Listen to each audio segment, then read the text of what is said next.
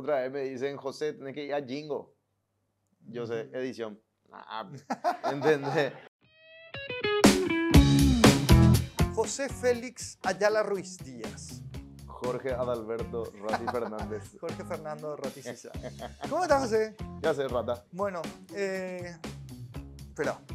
Vamos a comenzar por el comienzo. A ver, Periodista, porque sos, estudiaste periodismo. dejé en segundo año filosofía una. Ah. Chau, loco. ¿Sí? Sí. Pinocho. Pinocho, oso. Pinocho es el bar que está enfrente a la Sí. facultad. ¿Se Oso cerró el o perro. sigue? Oso, Oso el, se murió ya. Oso el perro que estaba siempre en la Sí. puerta. Bueno, después, bueno, estudiante de periodismo. Eh, actor, Actor, sí. Conductor. Sí. Radio. Radio y televisión, imitador. Sí. Pero comenzaste conduciendo, después empezaste con la imitación. No, comencé la imitación en el 2003 con Telecomio. Ah, y después hiciste Imagínate, cable pelado. Pedro Fadul, después Cable Pelado, después González Bonetti, Ahí actor. eh, Bueno, después de ahí. Eh, Cazador de Bomberos. Pero eso estuvo dentro de la conducción. Después estuviste, pero después de, de- de eso. ¿De cuál? De, de- bueno, y después hice Niñera de Adulto con Cantante. Nico. Can- no, sí, de Fuckers. Cantante. Sí, sí, entonces se intenta. Comediante. Sí. Ahí compartimos mucho robo. Estando Después- pero. Sí. Después de ahí empezaste a hacer, eh, y esta es la parte que quiero enfocarme, eh, emprendimientos con la comida. Sí, hay que hacer de todo. Las y carnes. También empezaste con documentalista Eh, e historiador. sí, de todo hay que hacer. yo. No, esa parte es la que me gusta, porque la otra está a la vista todos los días, está haciendo mucho gusto Sí, a la mañana, eh, de 11 a 12, lunes a lunes. del lunes a lunes, Lunes a de 11 a 12 en Canal 13, ahí le pueden ver con todo la- toda la cuestión de comida y aparte está haciendo eventos también gastronómicos.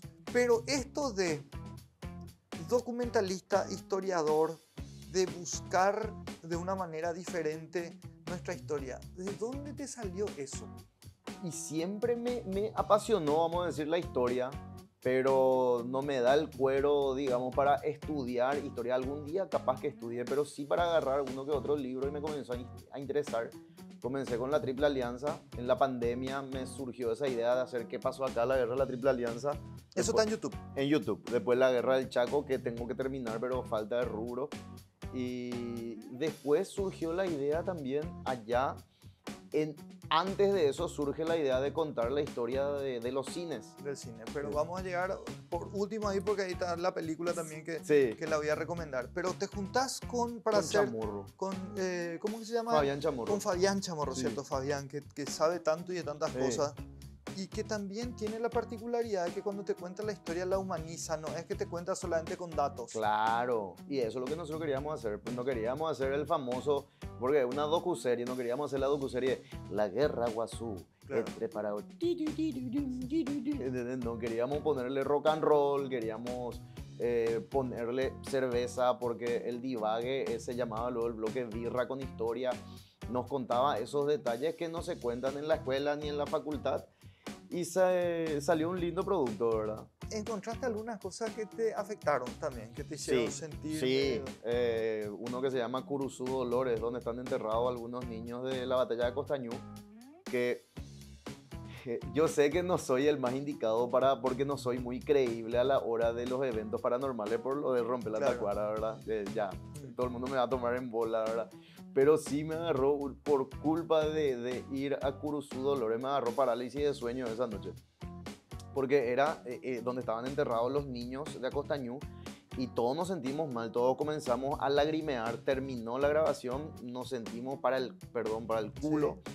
Llego a casa y comienzo a tener una pesadilla de que habían risas de niños alrededor mío y yo no me podía despertar. Y después no sé por qué escucho una moto. Eso ya fue cuestión del divague del sueño, ¿verdad? Pero nunca me olvido de esa vez que me agarró parálisis de sueño que yo no me podía despertar. Entonces, no me quiero más ir a Cruz de Dolores. Para los que se quieran ir, está en Caraguatal. Pero qué loco eso. Muy loco, muy loco. Muy Pero- triste también fue. Sí, eso.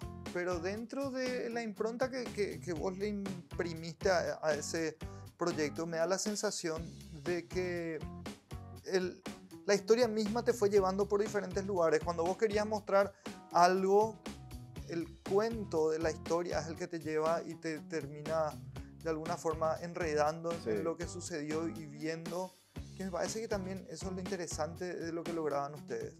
Sí, vos sabés que eh, hay uno que era, no teníamos planeado todavía ir a Boquerón, al Fortín Boquerón, ¿verdad?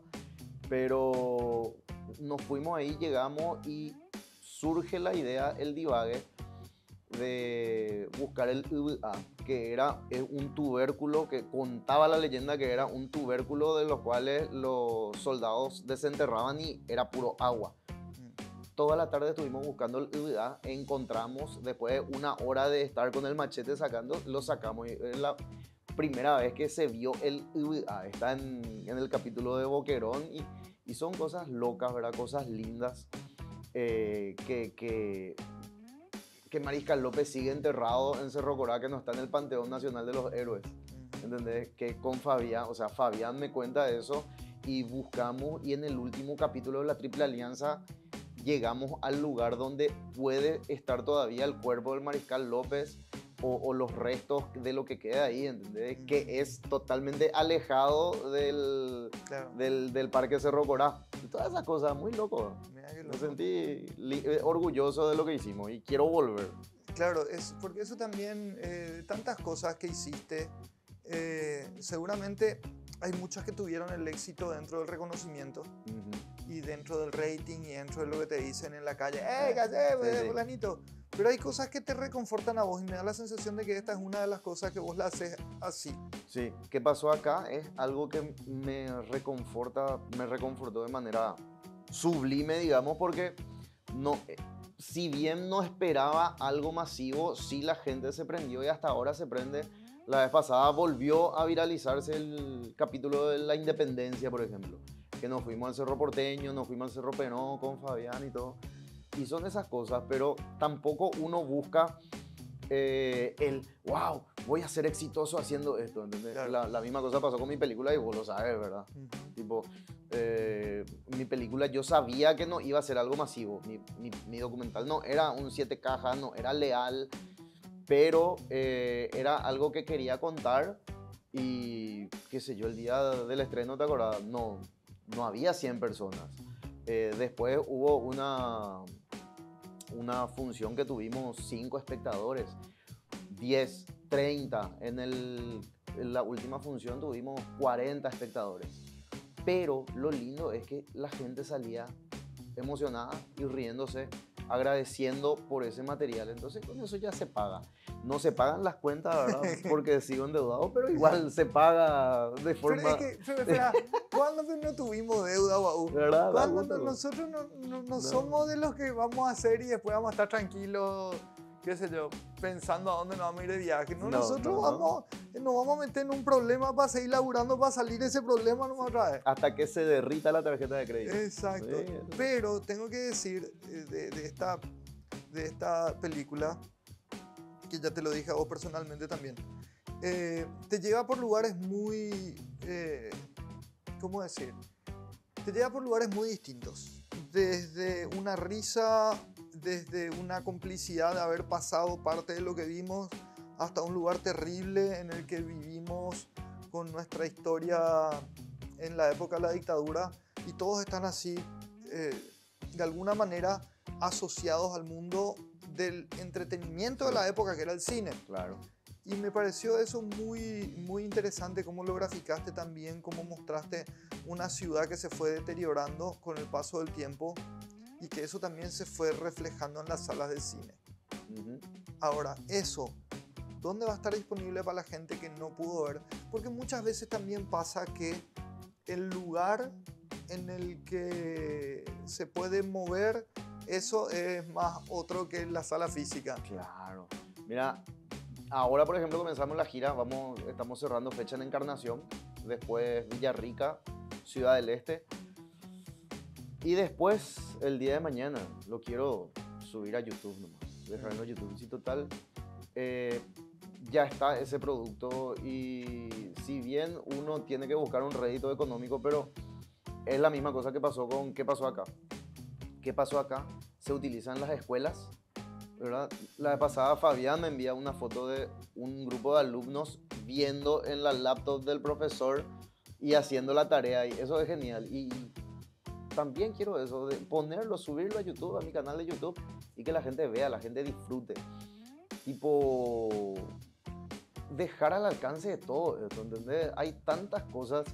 Imagínate que nosotros tenemos que ser conscientes que vos también ahora estás en un medio digital y, y estamos todos migrando, por más de que estemos en radio tradicional o TV tradicional, pues tenemos que ser conscientes de que esto también es un servicio a la, a, a la comunidad porque es darle a la persona que está en el colectivo un poco de entretenimiento.